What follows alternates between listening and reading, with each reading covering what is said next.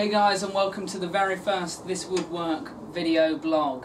So if you've been sent over from the main channel you'll know that this is just going to be a blog about sort of various things going on in the workshop and with the rest of my life I guess. So general things like what I'm getting up to in the workshop and other things about my life and why the videos are taking so long to turn up. So if I need to update you about college or something I can let you know here and you'll know why it's been five weeks or something ridiculous since the last video.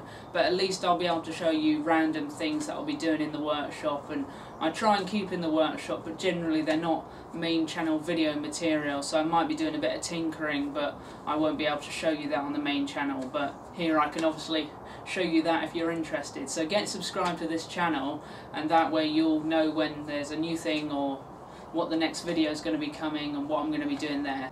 Okay, so first off I thought I'd just show you a little bit of footage that I took um, back in early July this was, so it's quite a while ago now, but hopefully you'll enjoy that and so it is in fact the day of the Hook Junior School Fair and summer fair in fact and believe it or not it is raining once again. Yes, just about every year it does in fact rain. So whether that's just a coincidence or not, there's something about the British weather. People make fun of it all the time, but I'm sitting out here under an umbrella, standing out here in fact, and believe it or not, if you take a look down here, this is the hose pipe you're thinking, why on earth is he showing us his hose pipe? But yes, we can't in fact use this. We are currently in a state of drought. Well, we're in a state of drought. It's been raining for the last three, four weeks. But we are actually at a stage where we can't use our hose pipe, which is just ridiculous. Um, looking at the weather out here. So yes, there is something very wrong with the British weather. In fact, there's actually been floods in other parts of England, so we are probably pretty lucky. We're actually on top of a hill anyway, so if it was to get bad, which it doesn't usually around here, we we we should be fine. But yes, it is just ridiculous how the weather can be sometimes. There's British weather for you.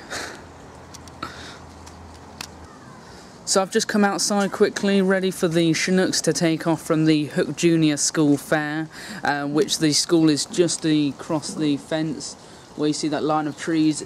The school is just there, so it made when back when I did go to that school many years ago. Now it was very easy getting there. Could run at nine o'clock, run up the hill, and go to school, being on time. So that was always quite convenient. So yes, the Chinooks usually come to the school fair most years and it's quite a cool sight watching them fly over so we'll see that in a second but because the UK Chinook base is so close it's only about four miles or so down the road so it's pretty near and they can just come to the school as they do pretty often so we'll get a good look at them in a minute.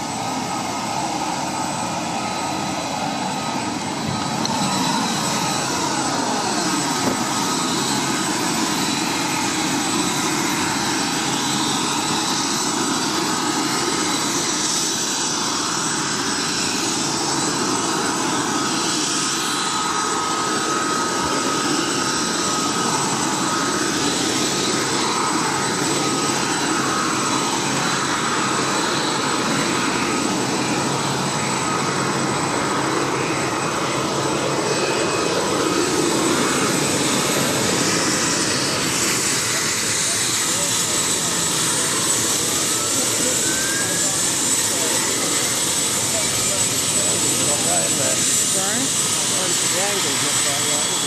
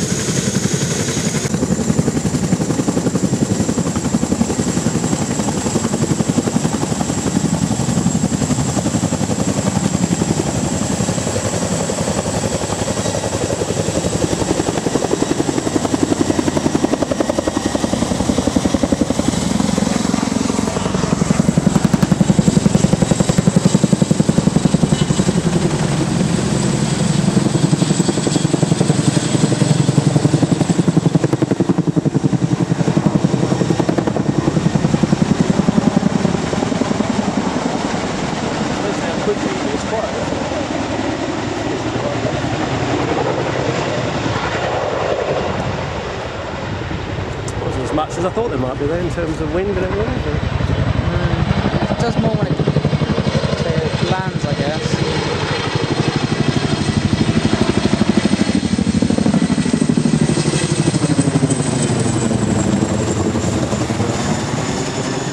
So on another note, I'm sure all you avid watchers, that's all of you I hope, will know that I turned 17 in late June, which of course means in England it's the driving age and like any normal 17 year old guy, and I know what you're saying, but Alex, you're not a normal 17 year old guy, you're a woodworker. That being said, like any normal guy, since before I could remember, I did want to drive, and obviously I started driving as soon as I could, and now I've racked up a, about 30 or so hours behind the wheel. So yes, I've done quite a bit of driving now, and pretty soon I'm hoping to do my test, so I'll let you know how that goes when it does happen. Um, yeah, as for the driving, I, feel quite comfortable behind the wheel now, and obviously, unlike in America, there are three pedals, not just two, which makes things a little bit more tricky when I started out. Trust me, I had a fair few stalls, and I did even, even in fact tweet about it if you follow me on Twitter. So that is pretty much behind me, I hope now. Obviously, no one ever stops stalling completely. Even my friends who have passed now still do, but that is always a joy for the future.